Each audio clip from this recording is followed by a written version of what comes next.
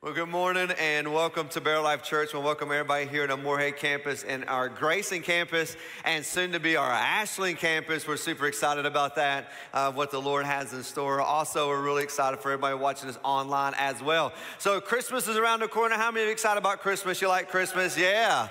Awesome. Yeah, well, I tell you what, in my, there's not Christmas season in, in my house. It's always Christmas season at my house. If you know my wife, I'm, t- I'm listening, listening to Christmas music 24 7. I'll come home like it'll be June and it'll be Christmas music going on. And so she's already told me one of her trees is going to stay up until February. I'm like, honey, you do what you want to do, all right? That's okay because she loves Christmas. And I'm really excited about this series called Christmas Is. We're going to have some fun walking through this leading up to Christmas over the next few Sundays. Sundays. So, what is Christmas? Every one of us have our own opinion what Christmas is. Like if you sit down and say, I ask somebody, tell me a little bit about Christmas, right? And, you, and if you're really spiritual, you're probably going to say, it's Jesus is the reason for the season, right? I mean, you're going to say that, and you're going to talk to some other people, and they're going to say, hey, it's about family. When you just get together and you have fun with your family and you get to hang out. If you ask probably a kid or so, they're going to say, it's about presents. And mommy told me I've been a good boy. And so says I've been a good boy. They talk about the presents that they're going to get. And for some people, it's, hey, man, hallelujah, I got a day off. You know what I'm saying? You're just glad you got a day off from work, you know? Uh, and for a lot of people, honestly, it's just another day. It's just another day where we get to kind of eat good and hang out with the family, get a day off, and then hit right back to the grind, going back to work, and you know just get back into the real world. And so for the next several you know weeks, or actually for the next I would say 30 some days, you, you're going to have all these crazy things happen. You're going to be traveling, you're going to be making plans, you're going to be finding out what crazy families you're not going to go's house this year, right? You know what I'm talking about, and you're going to be thinking about how we're going to have things on time. You're going to have all these things going on, and I just want us to slow down and don't miss really what I believe that the Lord wants to speak to us through this Christmas season, and that is really to define what is Christmas. We all have our opinion, but what is Christmas to, to me? What's Christmas to you? But also, what is Christmas, you know, that we see according to the scripture? Now, I'm, I'm going to preach over the next three weeks, so probably over the most famous verse in the Bible. If you could think about what you think the most famous verse in the Bible, this is probably one of the most seen verse, at least. I don't know if I would say quoted, could be the one of the most quoted, but at least the most seen verse in the Bible. How many college football fans we have in the house? Any college football fans? All right, there's seven of us. Cool, awesome. Uh, if you've been watching college football or you like watching football, you have seen this verse hanging up in end zones.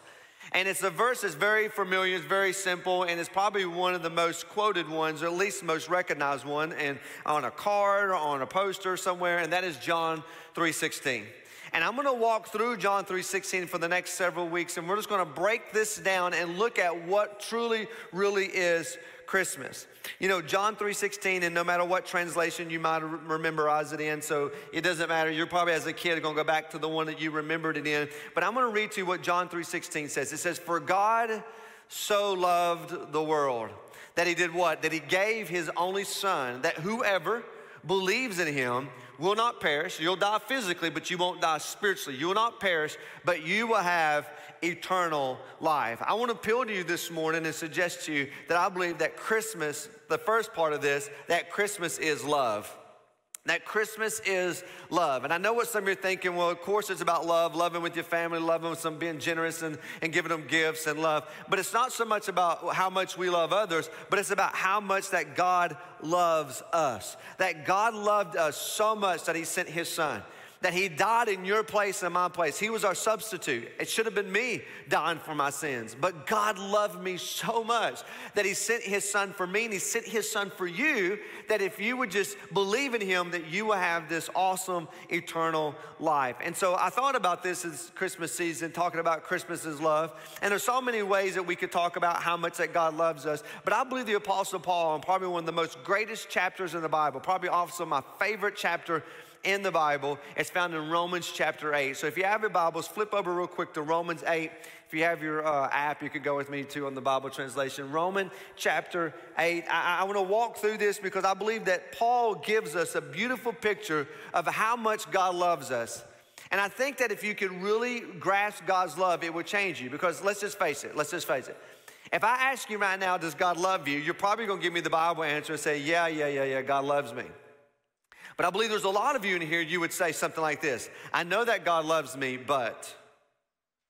And then you would go on with some excuse. Hey, I know that God loves me, but man, I still blow it all the time. I'm still not really trying to, I'm still not perfect yet. As if you had to tell us you're not perfect. We already know you're not perfect, okay? So we already know that. So you would say things like, I, I know that God loves me, but man, I'm gonna be honest with you, sometimes I don't feel like God loves me. I mean, sometimes I still mess up and I think those thoughts again, or I do that thing again, or I go back to that again. And I, I know God loves me, Pastor. I know the Bible answer.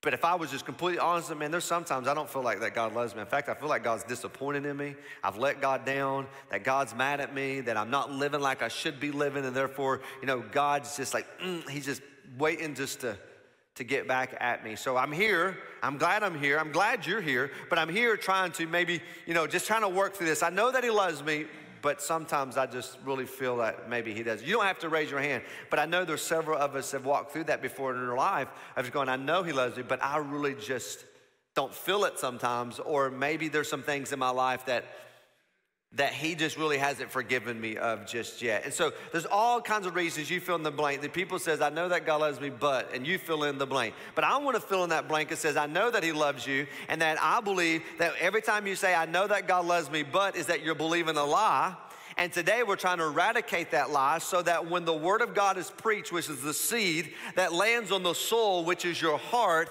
that the devil doesn't come, the Bible tells us, and tries to snatch the seed that's placed in your heart today. So since we know that that's a tactic of the enemy, that as I preach this morning, he's going to come and try to snatch the seed. And here's what's going to say. You're going to say something like this. Oh, that's good for you, pastor, but man, God don't love me like that. Oh, that might be good for somebody else, but not me. That is the devil trying to snatch the seed from taking root in your heart this morning, but you're not gonna let him do it, right? Come on, say amen. You ain't gonna let the devil snatch that from you this morning. You're gonna believe what the truth is. So here we go. We're gonna walk through, got just a few things I wanna point out, and we're gonna start with the first thing. If you're taking notes and you wanna write this down, is this. This is really cool. Is that God has completely forgiven me. God loves me so much. Christmas is love that God has completely forgiven me. I don't think everybody understands completely. Like, that's completely. Like, God has completely forgiven me of all my past sins, the ones I'll do today, the ones I will do tomorrow. Every sin that I've ever will commit in my entire life, God has completely forgiven me. And most people don't walk around in completeness or wholeness. They're like, hey, man, I don't know if God can forgive me of all my sins because there's still, I think, that one. That one sin or that one time or that one issue. I just, I think maybe God's forgiven me of, I don't really know. I know the Bible answer that He's completely forgiven me, but I don't feel completely forgiven. Listen to me. God loves you so much, He has completely forgiven you. There is no more guilt, there's no more shame, no more regrets, no more remorse in Christ Jesus' love. Romans 8 1 says this Therefore, anytime you see the word therefore, you should ask the question, why is it there for? Therefore, Romans chapter 1 through Romans chapter 7. Therefore, all that Paul writes in the beginning. We get to this climax of this chapter, which is unbelievable. Therefore, there is now no condemnation for those who are in Christ Jesus. That word no is the strongest negative Greek word in the Greek language. It's no, not never, never, never, never, never, no, never will God ever condemn you. As Christians, this should be shouting noise for us that when I put my faith and trust in Jesus, He will never, ever, ever condemn me. Ever. My past, my present, my future sins have all been cleansed by the blood of Jesus, and he will never condemn me. And now what some people says, well, if all my sins are forgiven, then why don't I just go and, and live how I want to live, right? Don't I have a license to sin? When you tell me something that God's forgiven me all my sins, and really what you're saying, I can just go live how I want because God's going to forgive me. I would say this if that's your attitude, you don't know Jesus. Amen. If you're saying how much I can sin, in fact, you know what? Someone asked the Apostle Paul that question. Someone says, Hey, because God's grace covers all of our sin, should I sin more so God's grace can more abound? And Paul says, By no means. You see, if you give your life to Jesus and your attitude is, How much can I conflict with sin? How close can I get to sin in the world? How close can I look like the world but still be a Christian and still try to flirt with the sin? If that's you, I'm telling you, I don't know if you know Jesus. Because if you know Jesus, that He's forgiven you and died for you, you don't want to flirt with sin, you want to run from sin. You want to stay away from it because of what He's done in your life. And when you grasp that He has completely 100% forgiven you of all your sins, folks, that will make you rejoice with love overflowing like you've never seen in your life. So, what does that mean? That means this that God will never condemn you. And here's why I think we mess up as Christians. There is consequences to every one of your sins. Every sin you do, there's a consequence. There's always consequence. Can you be 100% forgiven? Yes. But is there still consequences? Yes. Some of you know that. You made some poor church choices and you made bad decisions, and because that, you get to see your kids every other weekend. It's a consequence to a choice that you made. That's just life. For some of you, you did some things and you have consequences for the rest of your life. Does that mean you've not been forgiven? Absolutely, you could be 100% forgiven. But there's consequences to your sin. And what I personally believe is that a lot of times that Christians believe the consequences is God's condemnation. God is not trying to get even with you. God said, Ha, you remember? You blew it. I'm going to get you. Oh, I'm going to get you now, son. You blew it. God doesn't operate that way. See, God doesn't condemn those who are in Christ Jesus, He convicts us. And His conviction is what leads us to repentance. God doesn't guilt you. Listen to me. Hopefully, this will set you free. If you've been struggling with guilt and you feel not feel to feel dirty and just don't feel guilty, and I just don't know if God can, if God has, or if God will, God doesn't guilt you. God convicts you. Here's the difference: the devil will will guilt you. When you feel guilty, you don't you don't want to run to God. In fact, you want to hide. Ask Adam and Eve. They hid when they realized they sinned because they felt guilty. And their guilt made them run and hide from God. And anytime the devil tries to guilt you, you don't want to run to God. You don't want to read your Bible. You definitely don't want to show up to church. You don't want to talk to him and pray to him because you feel bad, you feel guilty, feel dirty because I blew it, and therefore God might be mad at me, and you kind of hide. That's the devil. God doesn't guilt you, God convicts you. Conviction is, I don't care who knows. He forgives me. It's His kindness, and I'm gonna come to Him. God draws you to Himself when conviction. And so the Holy Spirit will convict you, not condemn you, not guilt you, but guide you and lead you. And so I believe the problem is Christians believe that when they walk out their consequences to their sin, and we all, all sin has consequences, that you think it's God's condemnation. That is not God's condemnation. That is the consequences to the sin that you have. God can 100% completely forgive you, and I'll never have to be condemned for my sin because Jesus took my place. So if you could just understand the completeness and totality of forgiveness of your sins, that would uh, just unlock another way of how you live in life, going, know what? God has completely forgiven me. God knew I would mess up, and He still loves me. That's just amazing that God loves us that much. He's completely forgiven me. Here's the second one and that is that God is working all things for my good and for his glory. God works all things for his good, my good, and his glory. The Bible tells us that God never makes mistakes. We make mistakes, but God never makes mistakes. And here's what I love about God that God can take my mistakes and still use them in his sovereign plan. Have you ever thought about that? That, like, listen, like before I was even born, God knew all the sin I would commit. God knew all the times I would doubt him. God knew all the times I would rebel against him. God knew all the times I would willfully, purposely, purposely sin against him. Not just, oops, I sinned. I did it on purpose. He knew all that, and guess what? He still allowed me to be born. He still saved me. He still called me, and he still anointed me to preach the gospel, and he knew I was gonna blow it. Folks, that's love, man. So watch this. This is what I love about God. God takes all my mistakes because he gives us free will and his sovereignty because he's in complete control and he works all my mistakes to become a message for his for the gospel. And see some of you if you can grasp that you can relax because some of you right now you're so tense of making the right decisions and the wrong decisions and the best decisions and what decision i'm making i made mistakes. I've heard people say man i blew it. I don't think god can use me. Are you kidding me? Because you blew it god can use you he takes our mistakes and he knows it because so many people goes, man, I just, I just feel like I let God down and I made this mistake and God's, listen, God will use all this. He can fit it in his plan. I love what Romans 8, 28 says. And we know that in all things, God works for the good of those who love him, who have been called according to his purpose. I want to leave this verse up just for a second because I don't want you to miss who this is targeted to. I will work on all things, watch this, for those who love me according to the purpose I have in Christ Jesus. You willfully reject God, you willfully run from God, you willfully deny Him, and God says, I'll let you walk out your consequences of rejection. I'll let you walk that out. But you love me and you seek me, everything, even your mistakes, and watch this, even other people's mistakes that have done to you, I will use them for my glory and for my purpose, and honestly, to advance the gospel, because that's what we know what God's up to is advancing the gospel for generation and generations to come. So, what does that mean? That means this. Some of you, you're hung up on your mistakes. Listen to me. God already knew you'd make them, and He loves you anyway. And He brought you here today so that you would put your faith and trust in him. And if you put your faith and trust in him, guess what? He already knew you was going to do that. He already knew you make mistakes, and he still has a perfect plan for you. Even if you blew it as worse as you can think you've ever blown it. God said, I can come in and use it if you'll just surrender your life to me. So, God, if I know that He loves me this much, that God is love, that He is working everything that happened to me, everything I actually did, and will work out to His plan. And at the end of my life, when I take my last breath, God can say, Yep, that's how I planned it.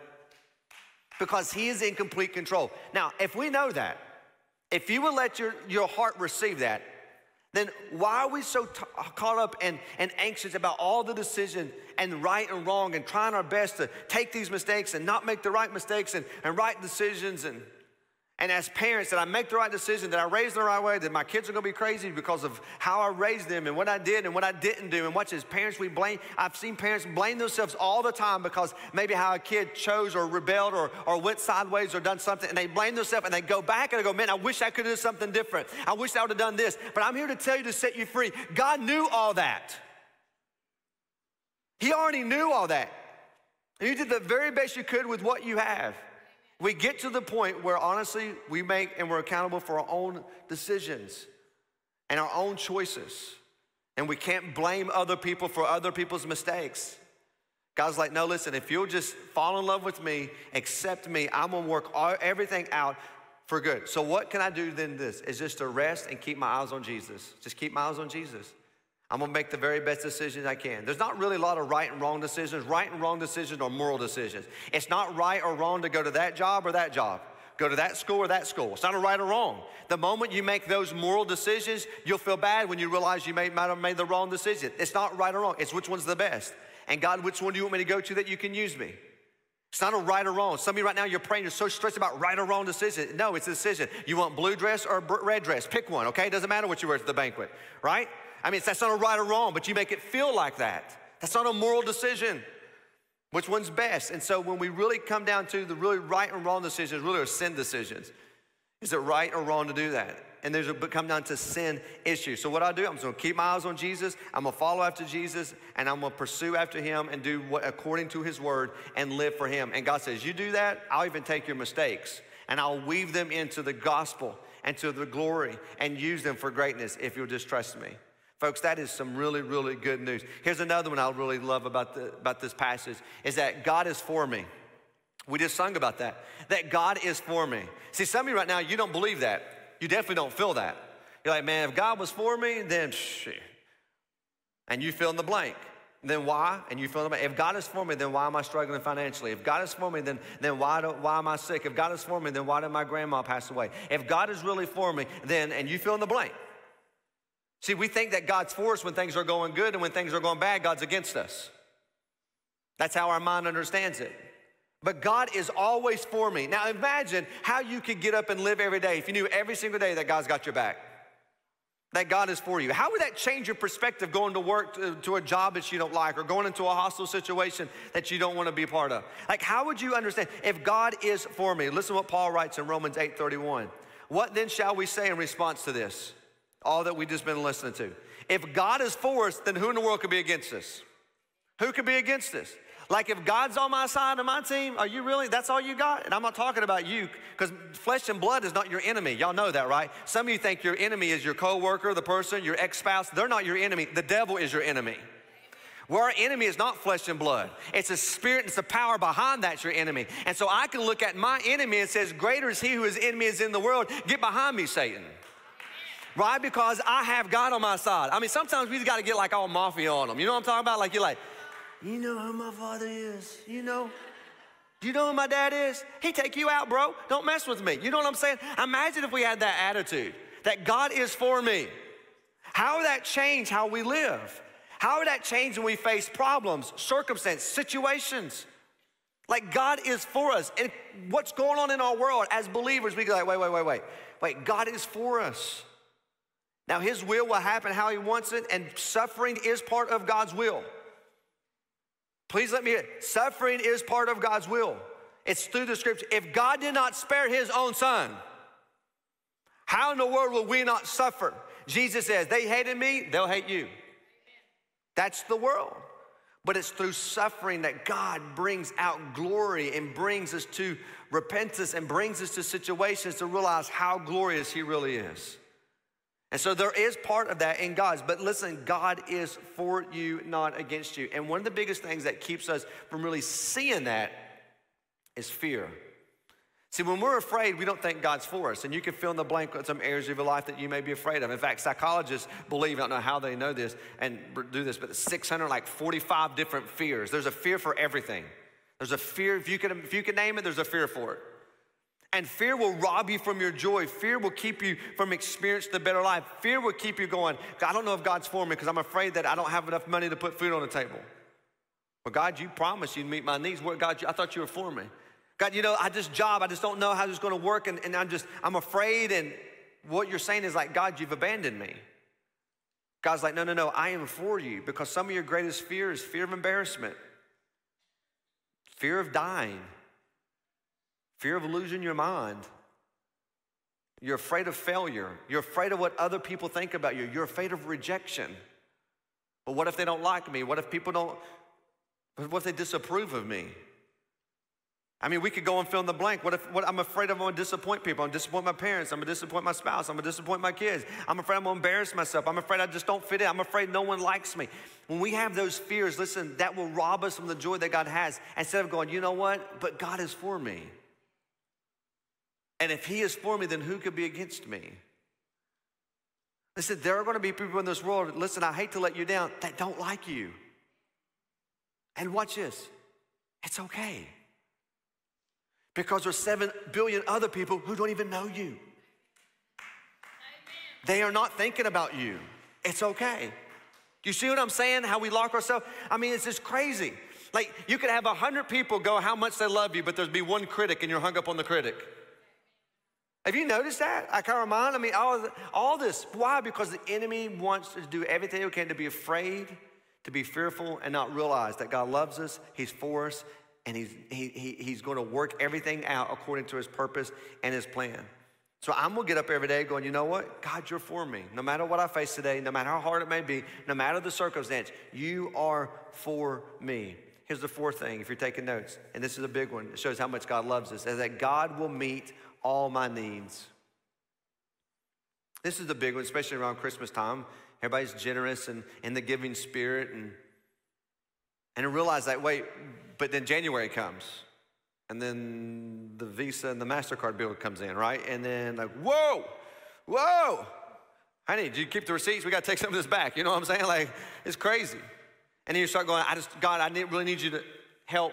Like, but listen, God will meet all my needs. I love what Romans 8:32 says. Paul writes, He who did not spare his own son, but gave him up for us all, how will he not also, along with him, graciously give us all things? So if you look at this, he gave up his son to give us all things. He gave up his son to give us all things.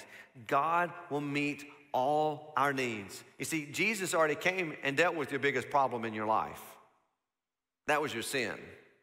The biggest problem you've ever had in your life is not your finances or your marriage, your relationship, your parenting, your job, your career, and figuring out where you're going to major in your life. That is not your biggest problem. You think it's a big problem. That's not. Your biggest problem was sin.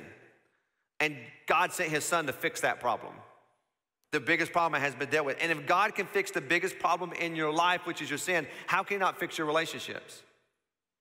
Your job, your career, your school, your finances. You see what I'm saying? Like all the problems, and we all have problems, and you have problems. We all have these things in our life. But the Bible tells us that my God will meet all of my needs according to Christ Jesus' riches.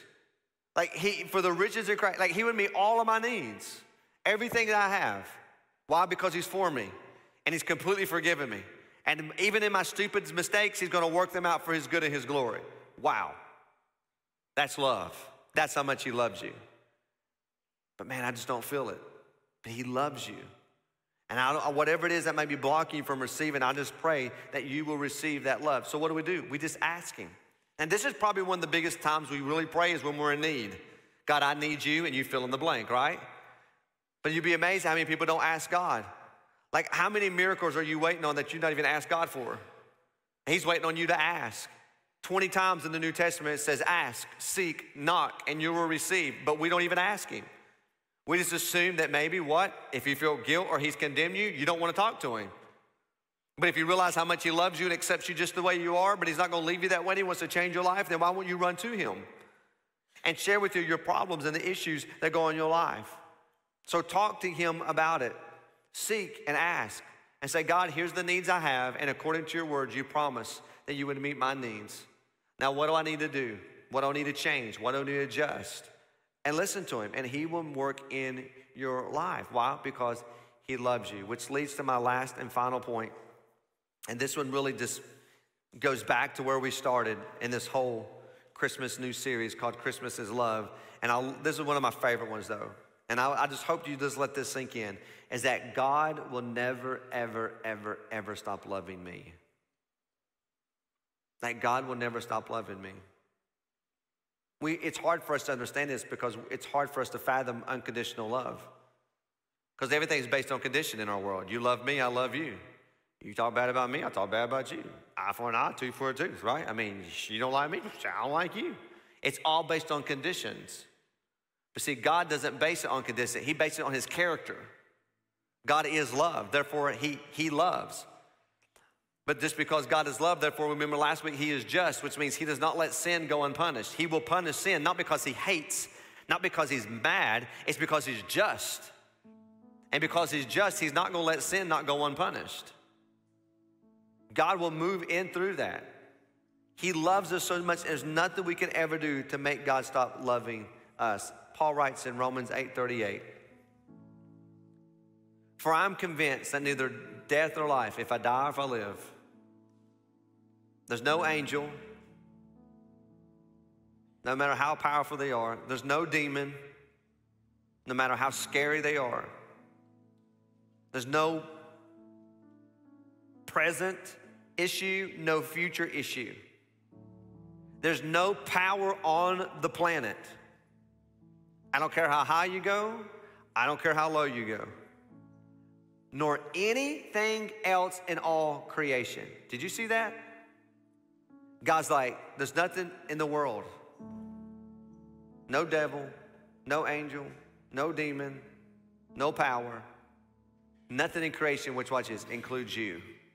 You're included in that text. Nothing in else in all creation, you are his creation, which means you cannot even separate yourself from God's love. Look what he says. Will be able to separate us from the love of God that is in Christ Jesus our Lord. How does that make you feel knowing when you blow it? One, God already knew you were going to do it. Two, He loves you. Three, He forgives you. If you knew that when you blew it, what would that cause you to do? Run and hide?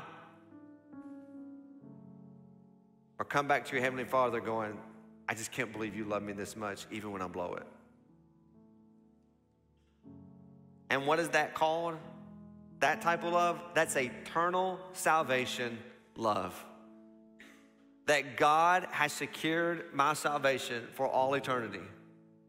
If I could earn my salvation by working for it. The moment I stop working for it, then I would lose it. But the reason why I can't lose it, because I didn't earn it. It's a gift. You just have to receive it. And so, knowing that my salvation is secure, that my sin will never separate me from God, I will never be condemned, I will be never be judged for salvation purposes. I will be judged on how I lived on planet Earth. The Bible tells us, 1 Corinthians chapters 3. I will be judged on that, but not for my salvation. Jesus took that punishment for me. So he doesn't condemn me. He's for me. He loves me. There's nothing I can do to separate it. He's going to work everything out according to his perfect will for my life. And no matter what I face, this Christmas season, in the heck, being so busy, I can stop for a moment and say, but you know what? He loves me that Christmas really is love. So don't be blinded by all the glamour and glitter and stuff that happens. Stop this season just for a moment and go, wow, even in the midst of chaos, He loves me. Even when I blow it, He loves me. Even when I still will blow it, He still loves me. And if you will just receive that, I promise you it would change how you live every single day of your life.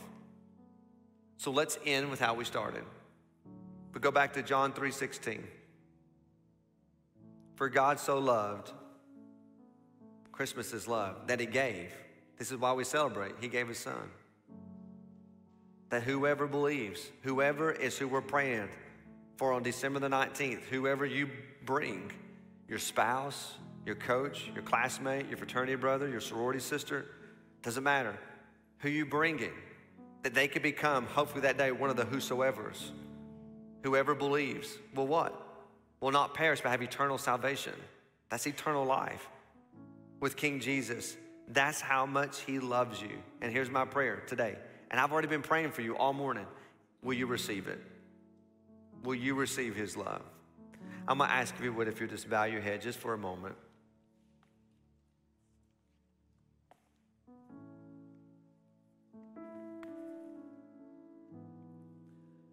You know, if you're here this morning or at our Grayson campus or online, I don't believe you're here by mistake. God brought you here so you, so I could tell you that he, He's not mad at you, He's mad about you. And He loves you so much. And that Christmas really is love. And I pray and hope that you receive it. You know, I'm just so naive to believe the Bible. And the Bible says, whoever calls on the name Lord will be saved. And maybe today, for the very first time, you realize how much God loves you. And all these promises that I just mentioned, all these things you want for your life. Well, would you give your life to Jesus now? Right where you sit, you could say, Jesus, I believe. I believe you came for me. I believe you died for me. And I believe you got up out of the grave for me. And as best as I know how, I'll repent of my sin. I'm going to put all my faith in you. Thank you for forgiving me. Now help me follow you all the days of my life. You know, my Bible says whoever will call on his name will be saved. And I pray if you did that today at all of our locations, host is going to come out just in a moment they're going to tell you some next steps. We just want to know so we can celebrate with you and rejoice what God's doing in your life. And then we'll continue to pray that God will use you and all of us to figure out who we're going to invite and bring on our Christmas services to hear the gospel so they can experience an abundant life, a full life. We like to say around here, a better life than they've ever dreamed of. Father, we thank you for your word and how relevant it is. Lord, I pray now that you would rebuke the enemy and don't snatch the seed that's been planted, but Holy Spirit, you would water it and cause it to grab roots and grow in our hearts. That we will leave here knowing how much we're loved and even in the midst of our sin, you love us. Yet while we were still sinners, Father, you sent your son for us. And whatever's holding us back from receiving that love, whatever keeping us blinded from it, I pray today, Holy Spirit, you will reveal the truth. And when we know the truth, you will set us free. And we will live every single day of our life, not just the Christmas holiday season, but every day of our life, knowing that you are for us, not against us, and you love us. We love you, Jesus. For your name we ask and we pray. Come on now. And everybody said, Amen.